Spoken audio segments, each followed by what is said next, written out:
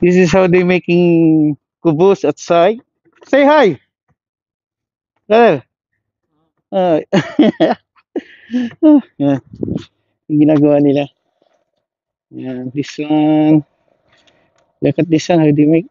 Tapos doon nila niluluto sa ano. Ay. This is how they make kubos here at site. Nandito pa tayo sa site. Yan. Mm, yummy yan. Say hi, brother. Ah, doon doon sila nagluluto. After niyan, ilalagay siya doon. Ito yung lutuan niya. Ah, ayan oh. Yan oh, ganyan kainit. Tapos gaganan-ganan niya yan. Yan, ikot-ikot. Yan, ah, inilagay na po niya dito sa mainit na handmade na drum yung kubos. Yan, this is the kubos.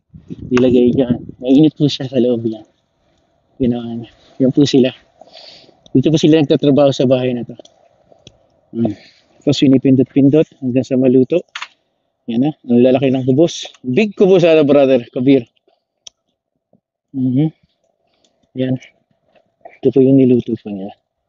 Ayan, after they put this here. Ayan. Ayan yung pagkain nila. Ayan na. Ang kubos, mainit na mainit. Tagal maluto. Ayan po yung oven nila. Isang malaking drum. Tapos pinapasok ko sa ibabaw. Ayan. Tapos pag naluto, nakakain na nila. Hmm. Paikot-ikot lang pa hanggang sa maluto. Hanggang sa magkulay color brown siya. Hindi siya kainat. Aywa. Ah, brother, syukran. Thank you. Brother, syukran, thank you. Yan, ganyan po sila. Pag naluto na yan, kakainin na nila. Pag mainit na.